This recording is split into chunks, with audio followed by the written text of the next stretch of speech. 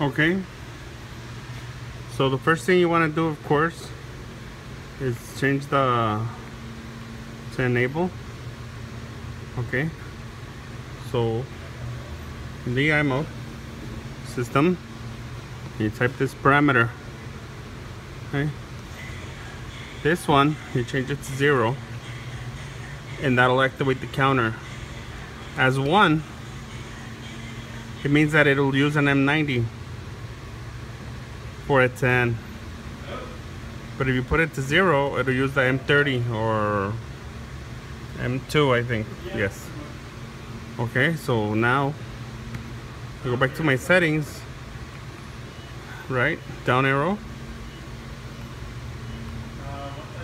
Okay, you can reset that. That's to reset. Zero, right? I'm gonna go into a little program. Cycle start. M30 counts. Cycle start. Cycle start. Right? Now I'm gonna reset it.